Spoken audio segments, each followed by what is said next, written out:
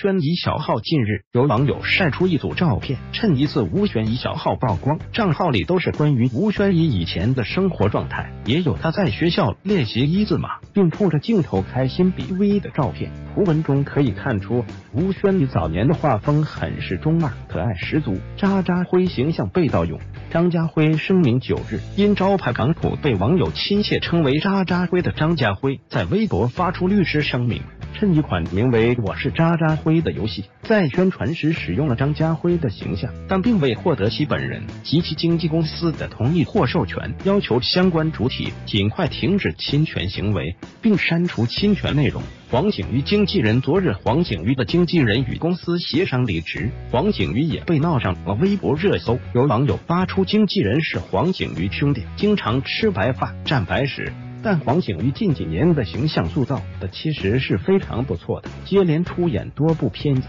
都充分地利用了一百八十七厘米、八十千克的强健体魄和一脸正气的形象，塑造了荧幕中一个个的阳刚男人，被网友戏称为“鲸鱼的西装杀”。杨丽萍摔倒九日，杨丽萍在微博晒出自己练舞受伤进医院的照片，并配文称自己在排练新舞剧时不小心摔倒致骨折，向医生争取了很久。都无法亲临舞台谢幕。